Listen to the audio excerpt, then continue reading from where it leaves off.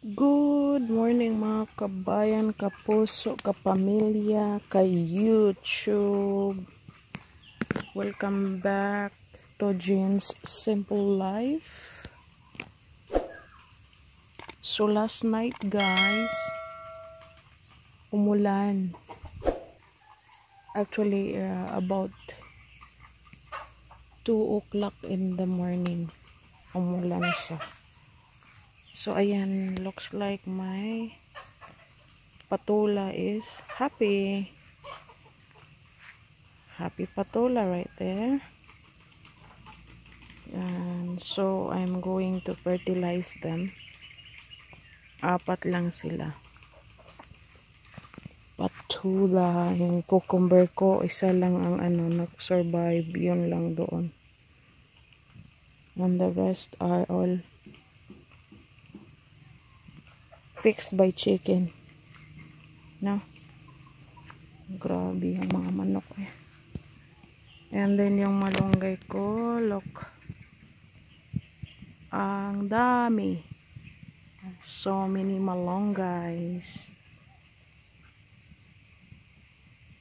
Wow. Ang dami ng malunggays. Ginataang malunggay sarap. Magginataang malunggay tayo. With bulad Ooh, sounds like yum. Right there. There's another malunggay right there. And right there. And then I will check out my patula, isang patula dito, ibang klase. Oh my god, okay kaya ito? Nasa wire siya, guys. Anyway, mabilis lang naman ito, ano? Kasi, ikat ko lang yun doon. And then yun, mamatay na yung dito. Pero may bunga siya. Sayang naman.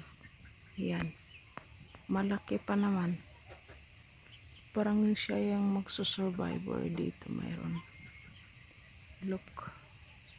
Yan mayroon pa dyan. Oh every leaves siya may ano. Yan oh yan hindi. Parang hindi yan makasurvive. Yan maliit. Ito lang malaki. Isa lang So, I'm not sure kung mabuhay ba yan. But, yun, super green na yung malunggay. At, dyan, maraming malunggay. Utan, bisaya. Mag-utan, bisaya ko. And then, dito naman, yung sweet corn ko looks they are happy no? Kasi inuulan sila. Yung ulan is about uh, 30 minutes. 30 minutes ang ano katagal. So yan. Lumalaki ng sweet corn ko.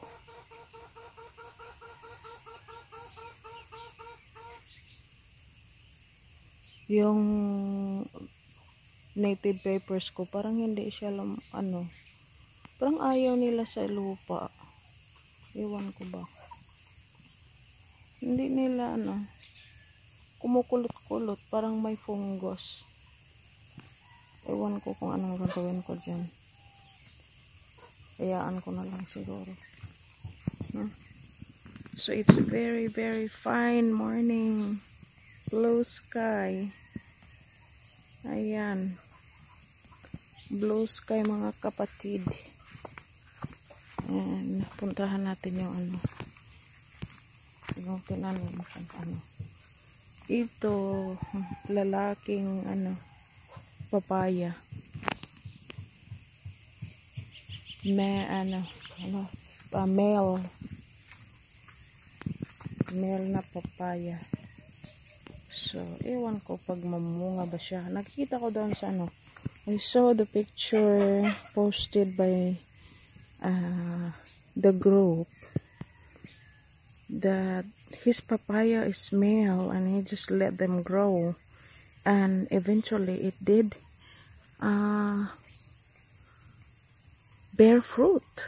And the thing is the the fruit is like this long long stem.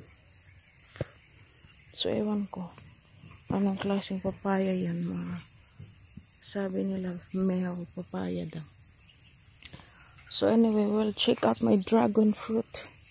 Oh dear. Yung ano ko okra. Survive kaya ito? Oh dear. Okra yan. Parang apat lang ata. Ah lima. Okra. Yan tinaniman ko ng cactus dito. Yan. Para yung water ay ano yung dirt ba? Hindi maanod. So yan tinaniman ko. At yung tatlo kong ano dragon fruit doon isa dalawa. Tatlo. Tatlong dragon fruit kung tinanim.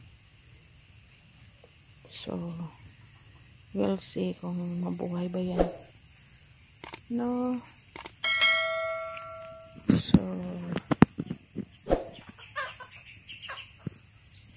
super green.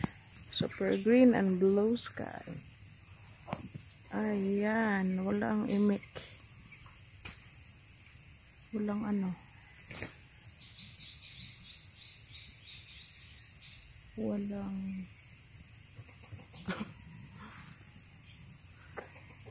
Walang hangin. Tingnan niyo guys oh yung papaya leaves super ganda tingnan yung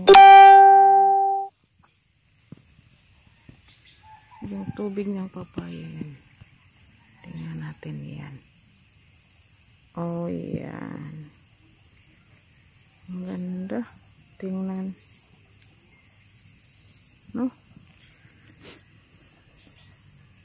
So anyway, yan. Blue skies. Green leaves. Nakaka-relax. Super relaxing. Ang bulaklak ko doon. Daisies. Ano man? Genia pala. Ang daming bulaklak ko. Yes. So, yung sweet potato, inuulan, gumaganda ito for sure. Tomorrow, marami yung ano, mag-ano ako, luto ako ng ano, talbos ng kamote. Yan, marami na yan bukas. Ang talbos ng kamote. So, dito, guys, mayroon pa din akong ano, ah, uh, malunggay. Yan. So,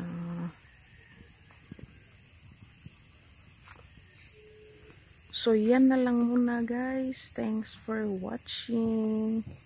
And if you're new to my channel, please subscribe and don't forget to click the notification button to get notified for my new videos okay guys thanks for watching take care and have a great day. God bless and bye bye